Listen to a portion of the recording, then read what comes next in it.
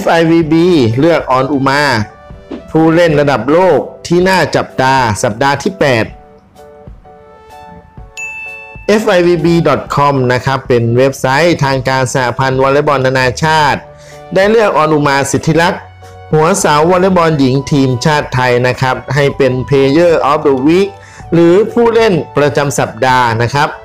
ซึ่งทาง FIVB ได้เลือกผู้เล่นดาวเด่นระดับโลกมาเป็น Player of the Week นะครับ โดยนำเสนอเรื่องราวผ่านทางเว็บไซต์อย่างเป็นทางการสัปดาห์ละหนึ่งคน โดยเริ่มตั้งแต่วันที่ 30 มีนาคม 2563 ที่ผ่านมานะครับ ทั้งนี้ออนุมาได้รับเลือกเป็น Player of the Week ของ FIVB เป็นคนที่ 8 แล้วนะครับ ในสัปดาห์ที่ 8 ต่อจากนิชิดะยูจิจากประเทศญี่ปุ่น อันเดียดูจากสหรัฐอเมริกา เคลเมนเชบุนจากสโลวีเนีย มายลิน มาติเนสจากโดมินิกัน มิลาสเอบาดิพูจากอิหร่าน กาบี้จากบราซิล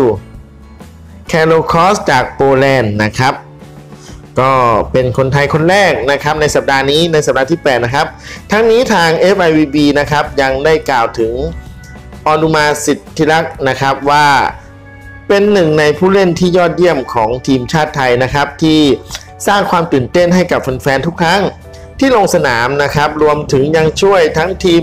ให้ได้ประสบความสำเร็จอย่างมากมายนะครับ ทั้งเป็นแชมป์เอเชีย 2 สมัย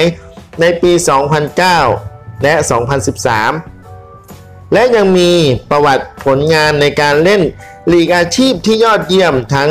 สวิตเซอร์แลนด์ ตุรกี รัสเซีย อาเซอร์ไบจาน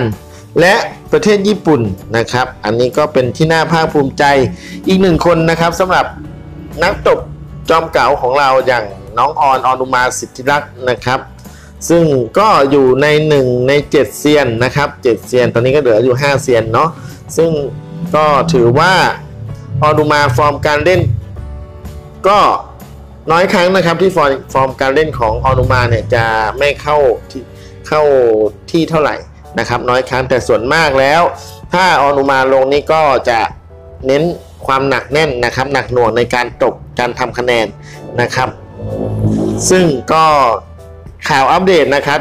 เรื่องหน้าภาคภูมิใจยอดก็มาอัปเดตให้เพื่อนๆพี่น้องทุกคนที่ติดตามช่องยอดอยู่ให้ฟังกันนะครับสำหรับคลิปนี้นั้นนะครับ ยอดฝากกดติดตาม กด subscribe กดกระดิ่งให้ยอดด้วย เพื่อที่จะไม่พลาดข่าวสารวอลเลย์บอลทีมชาติไทยที่ยอดจะอัปเดตทุกวัน และเป็นกำลังใจให้ยอดทำ YouTube ต่อไปด้วยนะครับ เดี๋ยวเจอกันใหม่ คลิปหน้าสำหรับ คลิปนี้สวัสดีครับ ช่วงเชียร์วอลเลย์บอลสาวไทยบายช่างยอด อย่าลืมกดติดตามนะครับ